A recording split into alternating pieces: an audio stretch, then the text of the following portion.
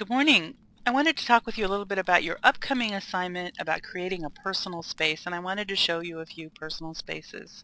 Um, first of all let's start with this little house here and you can see it's just a simple little block house with um, stained glass windows and kind of a shake roof and a door that does open and as we walk inside the door it's just one room actually perfect with a fireplace. Perfect for um, putting down some chairs and cushions and visiting with friends.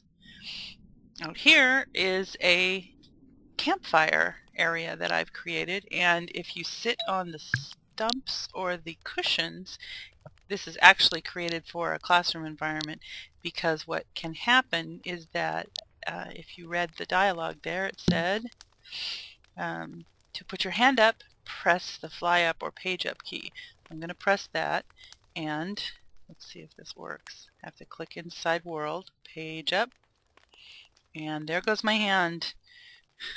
I have a question. so this is when there are a group of people and we're voicing and we want to have the opportunity to um, let the teacher know that we want to say something. In fact, if you let the hand stay there long enough, um, I do believe it starts waving around anxiously because you haven't been called upon. The other thing you could do is something a little more unusual, and I have created this globe over here. Remember when the Wicked Witch or the Good Witch of the North appeared in a bubble? Well, this is my bubble, and um, I'm going to pan through and show you that inside the bubble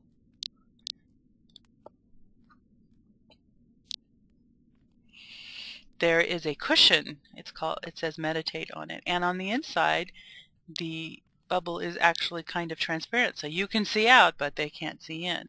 Because I have linked the meditation cushion to the bubble all I have to do is click on the globe, the bubble itself and say it's going to say meditate and it pops my avatar inside and see if I can show you and there I sit in a meditation pose locked in my little bubble that no one can see into but I can see out of.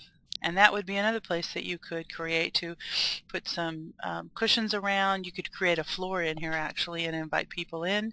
Um, they could sit on the cushions, they could talk, you could visit, you could put your lamp, anything that you've built so far.